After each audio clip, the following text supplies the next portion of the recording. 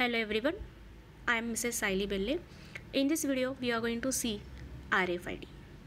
RFID is an acronym for Radio Frequency Identification and that refers to a technology where digital data encoded in RFID tags or smart labels are captured by a reader via radio waves.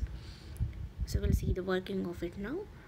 So here you can see the host, RFID reader, antenna and the transponders. So RFID belongs to a group of technologies referred to as automatic identification and data capture. These methods automatically identify objects, collect the data about them, and uh, enter those data directly into the computer system or with very little or no human intervention. RFID methods utilize radio waves to accomplish this at the simple level, RFID systems consist of three components, RFID tag or a smart label, RFID reader and an antenna. RFID tag contain an integrated circuit and antenna which are used to transmit data to the RFID reader which is called as an interrogator. It may uh, be called as an interrogator. The reader can convert the radio waves to a more usable form of data the information which is collected from the tags is then transferred to a communication interface to host a computer system where the data can be stored uh, in a database and analyzed at a later time. So you can see the diagram and you can analyze like what how it is used. So here RFID antennas are necessarily elements in a RFID system because they convert RFID reader signal into RF waves that can be picked up by the RFID tags. Without some type of RFID antenna, whether integrated or standalone, the RFID reader cannot properly send and receive the signals to RFID tags. So you can see over here is how these are the uh, RFID component block diagram. Here you can see RFID tag, RF antenna, network and workstation. Okay.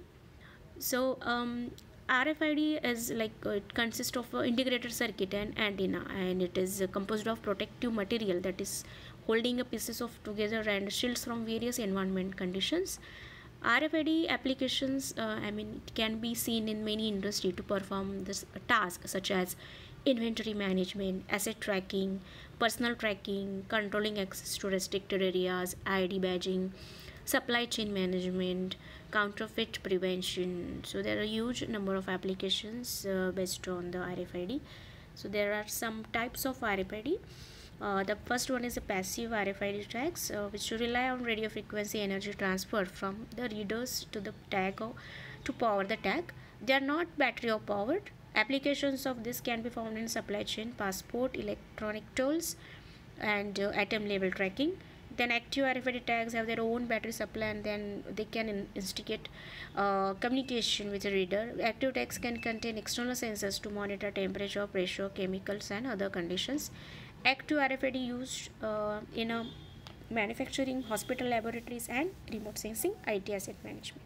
And semi-passive RFID tags, they may have both the things like passive and active. Some of them may require uh, the battery to charge their own. So, so this is what the types of uh, RFID tags. So here you can see the comparison of the tags. So passive tags, semi-passive and the active tags. Onboard power supply from the passive is no and for semi-passive yes internal battery is there and active tag is also having the internal battery. Transmission range is for passive tag is uh, given it is short uh, for semi is uh, medium and for active tags it's a long. Communication patterns is passive for passive tags, uh, passive for semi-passive tags also and proactive for active tags. The cost of the passive tags is cheap comparatively. Uh, semi semi-passive tags are medium and the active tags is expensive. The type of memory which has uh, for the passive tags is mostly read-only and for semi-passive and active tags are read and write. The life uh, of the tags for the passive tags is up to 20 years and as this is battery operated for the semi passive and active this